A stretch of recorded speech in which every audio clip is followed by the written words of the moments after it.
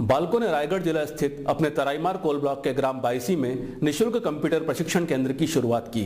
Computer शिक्षा के प्रति स्थानीय छात्र छात्राओं को प्रोत्साहित करने के उद्देश्य से बालकों की पहल की नागरिकों ने दिल खोलकर प्रशंसा की।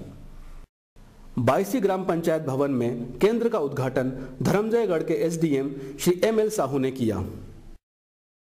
ग्राम बाईसी की सरपंच श्रीमती सावित्री राठिया की उपस्थिति में आयोजित उद्घाटन कार्यक्रम में सरपंच प्रतिनिधि श्री रतिराम राठिया ने कहा कि बालको स्थापित केंद्र के माध्यम से क्षेत्र में ऐसे छात्र छात्राओं को कंप्यूटर सीखने का अवसर मिलेगा जो अब तक इससे अपरिचित हैं। एसडीएम श्री साहू ने कंप्यूटर प्रशिक्षण केंद्र की शुरुआत के लिए बालको प्रबंधन को साधुवाद दिया। उन्होंने कहा कि वर्तमान समय कड़ी प्रतिस्पर्धा का है।